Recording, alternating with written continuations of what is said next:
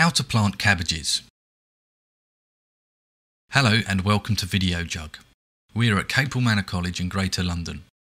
Head of Horticulture and Landscaping Tom Cole is going to show us how to plant cabbages from seed, which can be grown all year round depending on the variety. Tom is going to plant cabbages in a nursery bed, which refers to planting the seeds closer together than is recommended on the packet. They should be thinned out which means replanting them further apart after 6 to 8 weeks. Step 1. You will need seeds, a garden hoe, a plank of wood, a garden fork, a metal rake, a stake and string,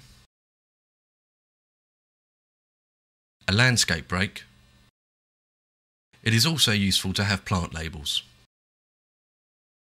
Step 2. Prepare the site. Cabbages should be planted in sunny sites in fertile, free draining soil. Loosen the soil with a fork and remove any weeds or stones. Use a rake to create a level surface. If you have poor soil, you may want to add organic matter or a multi-purpose compost. Use the back of the rake to tap down the soil and lightly rake the surface once more. Step 3. Plant. Cabbages should be planted in shallow rows called drills. Lay a piece of string on the soil as a guide. This will make sure you dig the row in a straight line. Lay the plank of wood next to your line. Then, using the draw hoe, create a shallow drill. Drop the seeds into the drills closer together than is recommended on the packet.